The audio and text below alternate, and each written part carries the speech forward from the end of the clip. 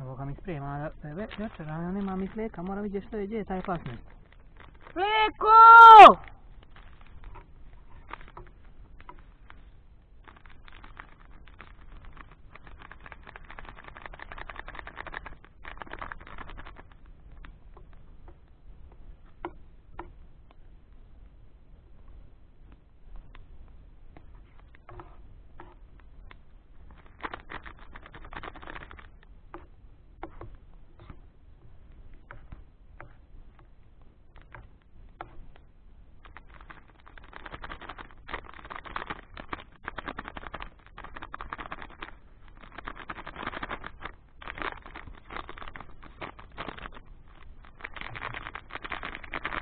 flicker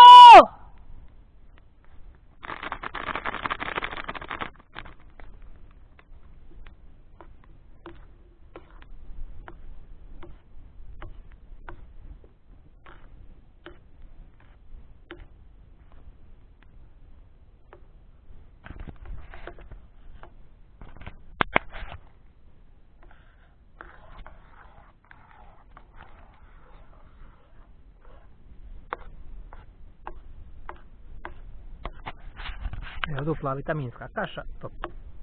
Lijepo pred spavanje. Ovdje uživamo pored vatre, sad čekam freka, ne znam gdje je pošao, mora ga istražiti. A nikad, Boga mi, po noći nije ovako, kad je predvečer, je vaza je sa mnom, nikad nije, nikad nije lunio ni.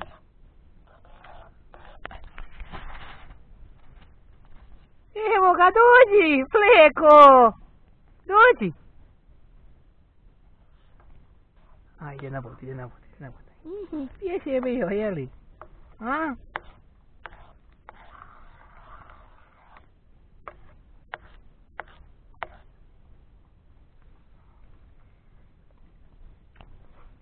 Mmm,